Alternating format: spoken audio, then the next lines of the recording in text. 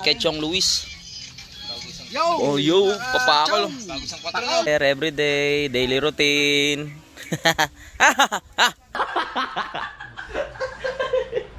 Talagya ka?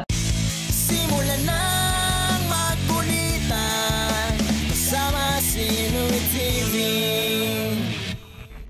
Yeah, magandang araw mga panalig. Panibagong araw at panibagong vlog na naman tayo ngayon. at ngayon ay ah, Friday morning. At inaayos ni Consilando itong ah, bangka natin mga panalig no. Ah, bali nilalagyan niya ng ah, singawan itong ating makina. Ito mga kapanalig. Bali yung nakaharang dito, nilalagyan niya ng butas para daw sumingaw yung hangin dyan sa loob. At mamaya mga kapanalig, dahil may sarili na tayong bangka, dapat matuto na tayo mag-drive na sa sarili natin. Kaya magpapaturo tayo kung paano mag-drive ng bangka. Ah, ngayon mga kapanalig, ah, nagpabili si Consilando ng ah, pako na tanso mga kapanalig no para dito sa ginagawa niya.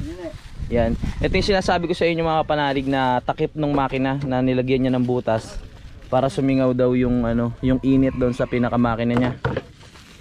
Pakong tanso para hindi ka- kalawangin mga kapanalig kasi tubig alat yung ah, yung ah, dagat, 'di ba? Kaya talagang kailangan tanso yung pako. Kung pwede nga lang ano eh, pakong ginto para hindi joke lang. papakita, papakita ko sa inyo kung ano yung tinatawag na pakong tanso. Siyempre, kulay tanso. Yun. Ito, ito, ito. Dali, ayaw, ayaw bumukas eh.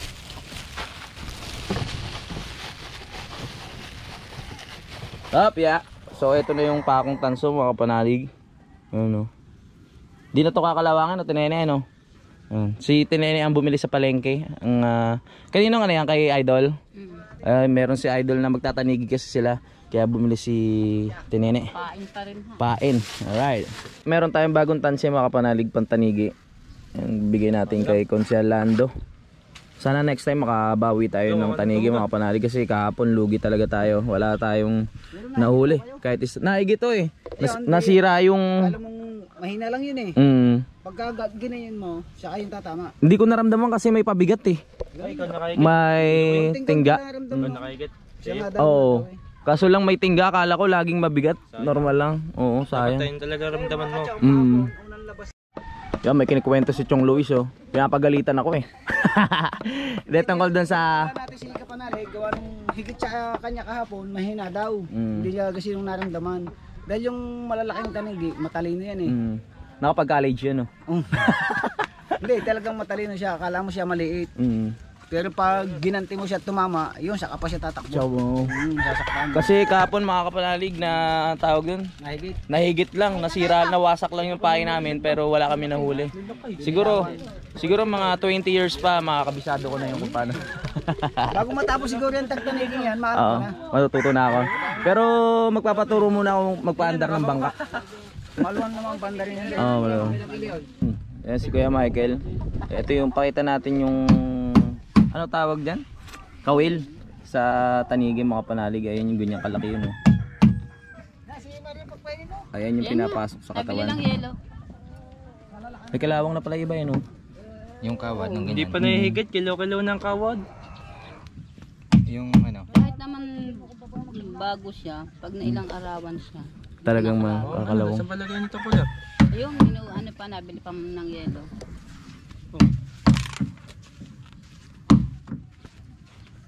Habang si Chong Luis ginagawa yung uh, bangka ni Idol na tidideng na pangkarera.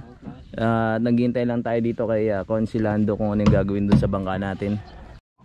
Yun ito kalaki yan mga kapanalig Eh, oh. pupunta muna ako kay Dave kung magluluto ng pangkain nila. O, Sarap yung pambutas to ng tenga tsaka sa ilong. Eh, may pambili si Carol na. subukan mo kung butasan tayo mo.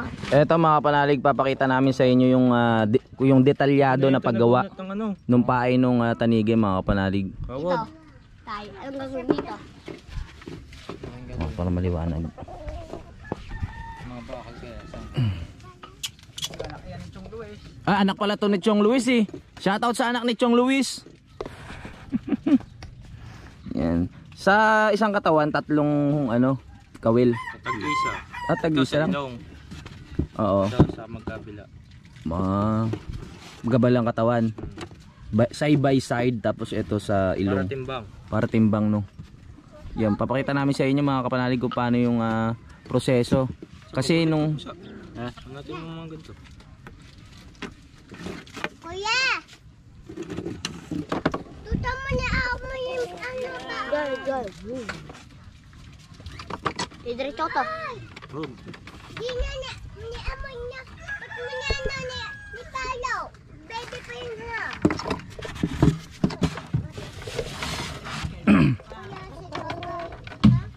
Yan.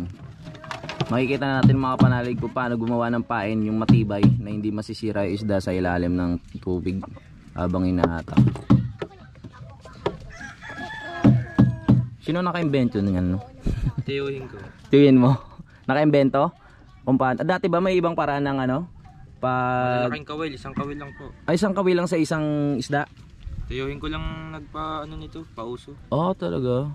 Tat tagtatatlo, no? Mas matibay nga naman.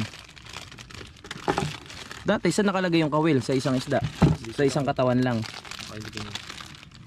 Ah, masisira nga yung isda, no? Kaya nasisira pag matulin yung bang... Ah, kahit, kahit hindi pala matulin.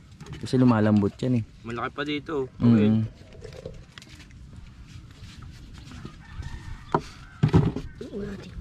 Malaki pa pala dyan. Saan mo natutunan yan, pre? Tatay ko lang. Sa, kay Chong Luis. Shoutout kay Chong Luis. mm. Yan mga panalig lalo na yung mga nagtatanong kung paano ba yung ah, paggawa ng ah, pain para sa tanigi ito na po. So meron tayong alambre na manipis dyan mga kapanalig. Siyete ang kapal. 7 ang kapal mga kapanalig nung ah, alambre na yan. Siyempre importante din yung pero ito talaga kalaking ah, tawag dyan. Tu- tulingan yung ano yun, no? Pinipili, no?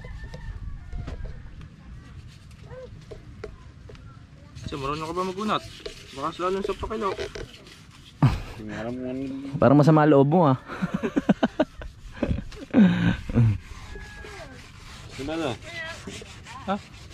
Unti-unti ang kilo niyan. Sinusukat niya mga kapanalig yung yung kawil hanggang dun sa labas ng bibig. Suman natin. Kaya tutusok na. Oh. Ako yata ang gumamit ito. Oh, yun na. Ah, ganoon.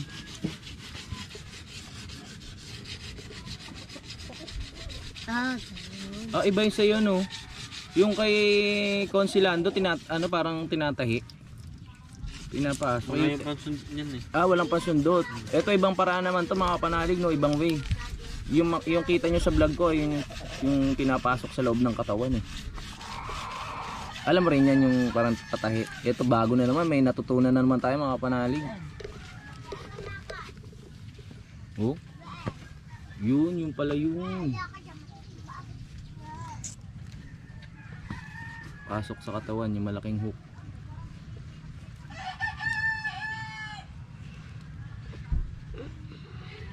Tapos pag, pag hinigit, bitawan. Hmm. Ano ba yun? Ano natin mga kawad? Ito. Wala na ba pantali? Ano nga? didiretso ko to. Kakapapa ng kawad yan. Walang panundot. Ano yun? Hindi. Wala. Ayaw kong kainin yung isa. Bubutasan mo na muna ng. Mm. So bali ito mga kapanalig yung itsura nung ah, May buhay pa yun, nag, nangangatlo. gumagalaw pa yun. Oh. Lalagyan pa sa kabila to. Lalagyan pa yan sa kabila mga kapanalig. Hintayin lang natin. Chong Luis oh. Lagyan natin tali dun sa bibig para hindi bumuka yung bibig. Mm Para hindi pasukan ng baka malunod din oh. Hindi, pag pag bumuka ang bibig niyan, Suwasak. ii- iikot. Mm Yun muna, yun muna ko ah. Isang kawad. Si, Oh! Kung kaya pa daw ng katawan mo, Yung sabay. Jeff, Bakit? papapainan yung malaki pang malalaki. Oo, walang problema. Oh, mabili. Ang pain. Oo, alin ba papainan? Yung ah, pang ah, malalaking ah, kawain. Yung pang malalaki si. Kasi ito, papainan din ko eh. Oh. Ano? Sa pinipitin mo konti.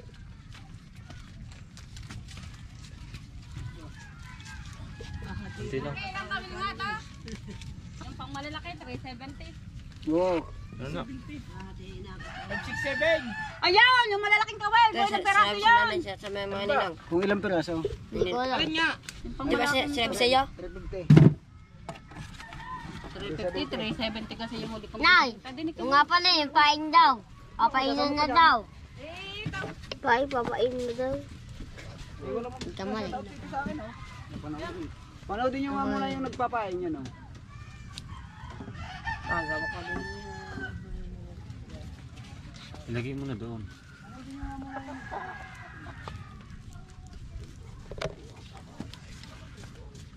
Nanood lang kayo dyan mga panalig yan, hindi na ako magsasalita. Para may idea kayo.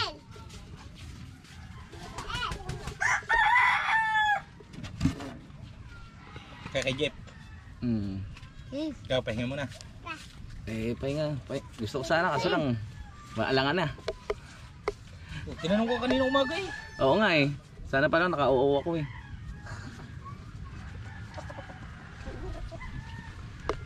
Kagaling niya, Luis Mario. Na-ready riyan, nahalit sa bangka. Yung, Yan. ayun, Yung ano, skirlight. Nahulog. Ito si Jape. yun oh. Yan ang finished product mga kapanalig. May lalagay pa ba dyan? Meron pa. Hmm. Lalagyan ng busal sa bibig para hindi bumuka mga kapanalig. Baka malunod. Baka malunod nga naman. Ano ba kayo dyan po sa ano? Silos.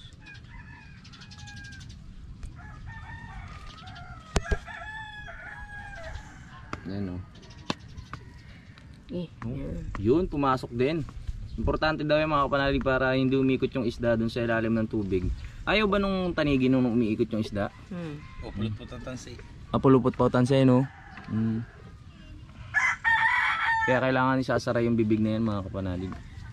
Gusto ko yung ilagot. Kinagat. Ay, yun oh. Sanay na sanay eh.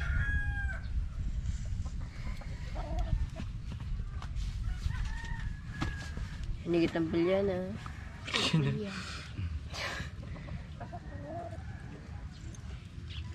Hindi, naman ganun ito. Ayan. At doon na natatapos mga kapanalig. Walang kawad. Kaba ba rin ang kawad na rin? Alright. Yan daw marunong magunit niya. Yun, tapos na. Tatali ngayon dito sa kawel. Tatali ngayon sa kawel para ano. Hmm. Para hindi talaga kumawala, no? Ay, hinigit. Yo, hinigit ata ano ko yo. Tanggal pati ito. Tanggal pa eh. Basa mo na tutoy daw. Hmm. Ben. Live pala yun. Yun na ang finished product mga kapanalig. Yun oh. Yun. Diba? Hindi makakawel oh. Oo, diba? Oo nga, smooth eh. At puputulin yung Talagay mo nga dito. buntot para hindi umikot. Toy. Naka, nice one. Ay mga kapanalig, nag- nagkaroon na tayo ng idea kung paano gawin yung ah, pain sa tanige. At marami pa kayong mapapanood ng mga katulad na ganyan mga kapanalig yung ibang ah, pamaraan naman ng panghuhuli. Yan, sayang di natin nakita kanina kung paano ginawa ni Konsehal yung pagtali-tali. Na-late tayo ng dating. next time na lang. Ah, abangan yung next na biyahe namin ni Konsi. Abati ka muna sa mga viewers natin, natin Konsi.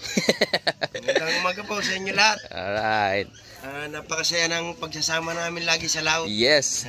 sa ngayon mga kapanalig, ah, pinapakiramdaman pa namin yung panahon kung kailan kami lalabas. Kasi mahirap na kasi meron daw bagyo dito, sabi ni Konsi na pumasok dito sa sa atin. So hindi tayo pwedeng ah, magpa hindi at hindi tayo basta-basta pwede lumabas mga kapanalig kasi delikado. So hintayin niyo yung next vlog namin. Medyo malakas na ang habagat. Oh, medyo malakas na ang habagat ngayon mga kapanalig kasi ngayon yung naramdaman na namin dito. Pero sila Idol Japper Sniper mamaya ah, magtatanigi na naman sila. Grabe hindi ang di po talaga biro yung tanigi no. Yung experience natin kahapon. Kung talagang hindi ka papala rin, wala ka talagang mahuhuli. Kaya talagang tsaga-tsaga lang talaga doon. Ikot-ikot lang kayo. Masakit yung puwet. Ang sarap ng tulog ko pag uwi. Nagising ako, alas 10 na ho ata. Tsaka ako naligo. Ang lagkit ng katawan ko. Paligo eh. Mm, narekta tulog na rin ho kayo. Mm, Mainit. mainit. Yan, so hintayin nyo mga panalig. Ihaw time! Ayan, si John Michael yung ah, mag, magtuturo sa atin mamaya mag-drive mga kapanalig para makapag-layout na tayo. At ayan, nag-iihaw na siya. Ano iihawin mo? Yung papakol. Papakol. Yun. Ang pulutan na naman yan. Papakol mga kapanalig. Yan. Shout kay Chong Luis. Yo! Oh, yo, papakol. Bago isang 4 no? Bago isang 4. Papakol. Right. Naligo ako. Oh. Nagtaka ako. Mm. Kasi nag-ahit na ako wala lahat na eh. Mm. Bakit yung sabon ko may bulbul? mm. Sino ang gumamit nito? May multo. May bulbul, walang tao. Talaga ka? Buhay ng vlogger, everyday, daily routine.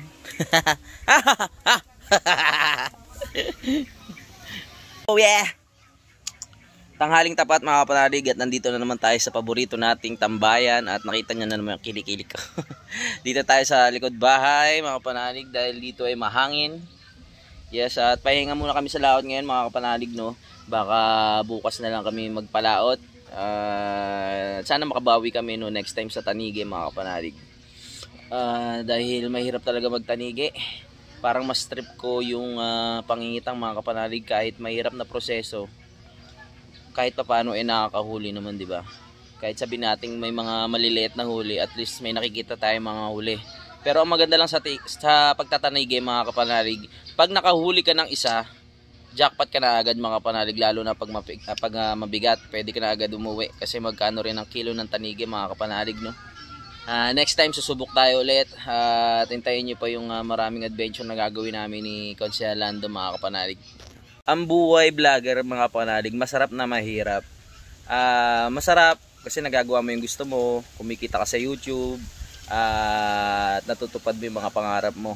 Ah, mahirap kasi malayo ka sa mahal mo sa buhay, malayo ka sa mga kababata mo, sa mga tropa mo. Pero kahit ganun, syempre nga tulad ng sabi ko, may isip mo pa rin yung para sa future. Kailangan mo pagbutihan, kailangan mo magsumikap. Kaya kahit malayo tayo sa mga mahal natin sa buhay, eh, talagang titiisin natin.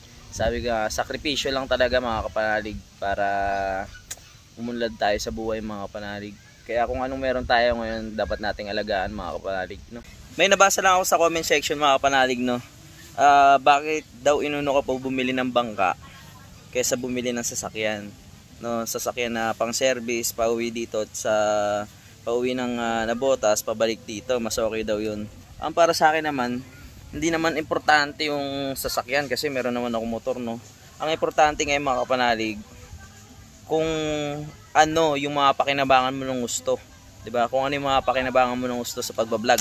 Katulad ng pag-adventure, 'di ba? Kailangan natin ng bangka, kailangan natin ng mga gamit, pangingisda. So, mahirap naman kasi yung lagi tayong ah, manghihiram ng bangka. Siyempre, kahit mabait si Idol Japper, Sniper at tsaka, yung mga tao dito, iba pa rin kasi yung may sarili kang bangka mga kapanalig. Tsaka makakapag-desisyon ka talaga sa sarili mo kung ah, saan mo pwede dalhin yung bangka mga kapanalig, di ba? Tsaka masarap sa pakiramdam din kasi nung may napupuntar mga kapanalig, di ba, na magagamit mo sa mga content. Yung sasakyan, darating din naman yan. Hindi rin naman yan ganong mahalaga mga kapanalig. Tsaka na lang yan yung talagang pagmalaki na yung ipon natin. At tsaka pag may sarili ng pamilya. Hindi rin naman ako mahilig sa mga sasakyan mga kapanalig eh. Kaya inuna ko yung mga bangka mga kapanalig kung ano yung magagamit natin sa pag-vlog. Kasi ayan yung hanap buhay natin mga kapanalig no. Kaya yung sasakyan na yan, dadating din naman sa atin yan. Magkakaroon din tayo niyan sa tamang panahon. Sa ngayon, unahin muna natin kung ano yung mga mahalaga, kung ano yung mga pakinabangan natin sa oras na to. Dapat ganun mga kapanalig. At hanggang dito na lang yung vlog natin mga kapanalig no. Hindi kami natuloy kanina na turuan ako ng bangka ni John Michael kasi may gagawin siya. So bukas na lang mga kapanalig. At excited na ako para doon para matuto na ako no. At pag nangyari yun, eh, lalabas na tayo mga kapanalig kahit tayo na lang. Pero syempre, hindi lang naman yung pag, pagmamangka, ano? pamamangka yung kailangan nating matutunan at pag-aralan. Kailangan natin, syempre, yung pag-arya. Kailangan natin pag-aralan yung mga tamang proseso ng ah, pangingitang, pagtatanigi, excuse me sa ano ko. At ang itim ko na, di ba? Bigla akong napansin dito ngayon na, yan, ganyan talaga eh. Okay lang umitim, basta nagagawa natin yung mga gusto natin, mga kapanalig, no? At salamat sa pagsubaybay mga kapanalig. At magkita-kita na lang tayo, lalo na sa mga organic ah, supporters ko dyan, na lagi nakasuporta, lagi nakasubaybay, na hindi nagsasawa kahit ano yung mga vlog natin. Ah, so hanggang dito na lang mga kapanalig. Bye-bye. I love you all at mag-iingat kayo palagi. Lagi tayo magdasal para problema ay malagpasan. I love you. Bye-bye. Simulan ng magkulitan Kasama si Louie TV